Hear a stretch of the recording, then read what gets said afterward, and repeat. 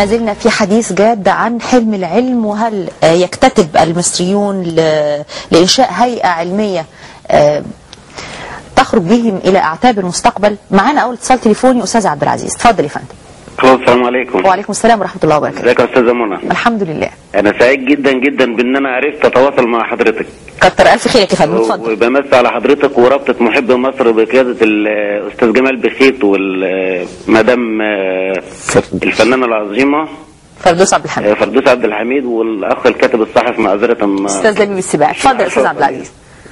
آه، أنا سعيد جدا بالفكرة رغم إن أنا مواطن بسيط جدا جدا يعني. مم. أنا يعني الحكومة ال- الحكومة بتاعتنا يعني إحنا مش هننتظر الحكومة تعمل لنا كل حاجة مم.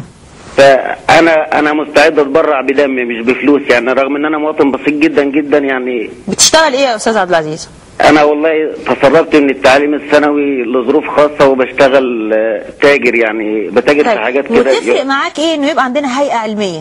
تفرق كتير جدا لأن يعني مقياس تقدم الشعوب بتقدمها علميا اسرائيل إسرائيل لما كانت بتضرب فلسطين ما كانتش بتضربها بعساكر كانت بتضربها بتقدم.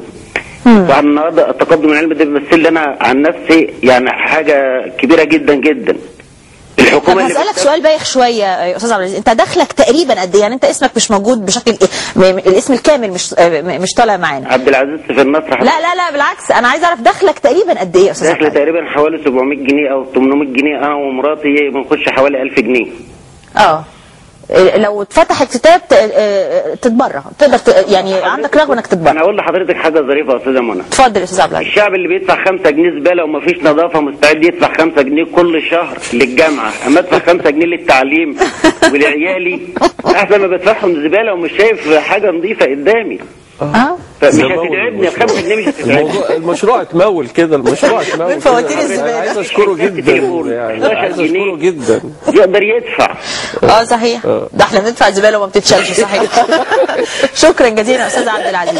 آه، اهتميت جدا بمكالمة حضرتك. معانا أستاذ زهران. اتفضل يا أستاذ زهران. آه، آه، مدام أستاذة زهراء أنا آسفة. أيوه يا فندم. اتفضلي فندم. آه، طبعا أنا سعيدة جدا بالمشروع ده حضرتك وأنا شايفة إن ده الأمل آه، اللي في المستقبل الحقيقة يعني يعني أخيرا آه، ربنا كده نور لنا يعني مفتاح صغير كده هيفتح لنا الباب هيمشينا تاني في الطريق علشان نرجع يعني يبقى في عندنا أمل شوية.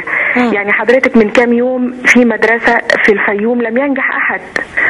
والأستاذ لبيب السباعي سنين طويلة بيكافح علشان بطلوا التفكير في تطوير كل شوية نغير في الثانوية العامة.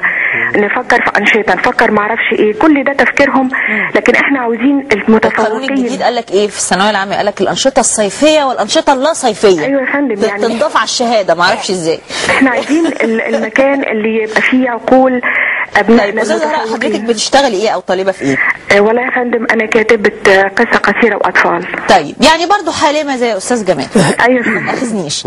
آه م- ما تفتكريش إن دي حماسة كده وانما على أرض الواقع ممكن تتبرعي وبعد كده فلوسك تروح عليكي؟ آه، لا يا مش فندم تروح عليكي أو يتعمل بيها حاجة مش هي اللي كان نفسك فيها.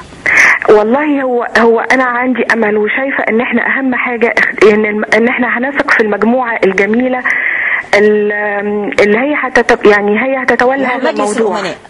دي أهم حاجة. آه يعني أنت بالنسبة لك مجلس الأمناء هو أهم حاجة. الفيصل يا فندم. هو ده الفيصل اللي هيخليني أبقى سعيدة ومطمئنة و- وهيساعد أنا وأسرتي وكل اللي نعرفهم. أكيد كل مصري هيحاول لأن طيب. دي الأمل قدامنا. طيب يا أستاذة زهراء آه، أستاذ دبيب السباعي قال انه مجلس ال- الأمناء بموجب القانون الحالي اللي هو القانون اللي لسه تمت إجازته يعني قانون الجامعات الأهلية. مجلس الأمناء اللي حضرتك بتعولوا عليه وبتقولي إن هو ده اللي هيخليني مقتنعة وأدفع فلوس وأنا مطمنة. أيوه. قال لك إنه نصهم يختارهم وزير التعليم العالي والنص الثاني لازم يوافق عليه. والله يا فندم إيه- إحنا أنا أنا هقول لحضرتك حاجة. أنا أنا نفسي إن إحنا أم، إن ده إن شاء الله يعني هنحاول الناس لازم يبقى فيه نحاول إن الكلام ده ما يتنفذ معرفش إزاي. آه يعني شايفة لازم الحاجة اللي أنت عايزة تبرعي له ده يطلع من جناح أيوه دي حاجة بقى بتاعتنا إحنا. عايزين حاجة؟ القوانين اللي موجودة. أيوه يا فندم إحنا عايزين حاجة إحنا بقى بدام إحنا هنعمل حاجة عشان نبقى زي نرجع تاني زي زمان نرجع تاني مصر الجميلة ال- اللي بن بن يعني طول عمرنا كنا كويسين. شوفي حضرتك الهند إحنا فين؟ إحنا عايزين بقى إحنا هنعمل حاجة محدش يتدخل فيها. طيب أشكر اتصال حضرتك يا أستاذة زهراء. ده الناس بتدور على الحلم. قبل ما تكملي. إيه؟ أنا حاسة إن في كلام على طرف لساني. لا يعني أنا مش متخيلة إن مشروع زي ده برضه ندخله تحت مظلة التعليم اللي هو مش تعليم يعني.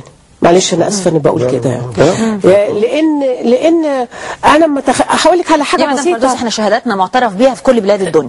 هقول لك هقول لك بس. لا مش صحيح. يعني يعني ما عادش المعنى ده قائم. لا. مش صحيح. في النهارده دول لا عربيه المعنى ده مش قائم لأنه أنا عرفت إنه في ناس بت عايزة تكمل تعليمها في لندن أو كده لازم يعملوا معادلة وحاجات كتير قوي.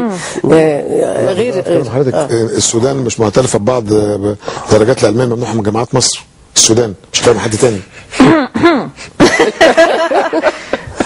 لا يعني درجات البكالوريوس والليسانس من بعض الجامعات المصرية بيعاد النظر فيها في دول العربيه دول الخليج معظمها. بس بس خلينا نقول إنه الهيئة اللي إحنا بنتكلم أنا عليها بس دي هيئة لتفريغ مش مش مش مجرد خريجين لتفريغ عقول حقيقية.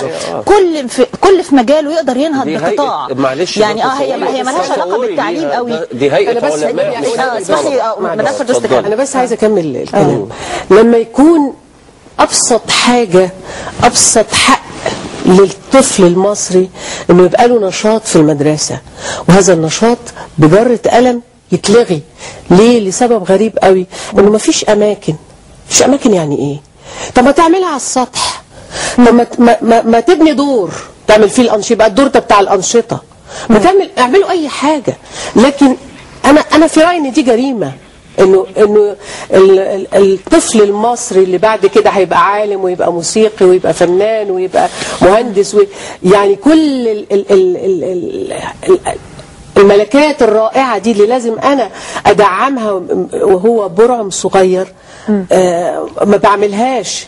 يبقى أنا هطلع إيه؟ بعد كده نقول ده في إرهاب وفي مش عارف إيه وفي إيه؟ طب ما هو يعني حضرتك مش مقتنعة على الإطلاق إنه لو لو الناس متحمسة لحاجة زي كده إن هي تحت مظلة حد.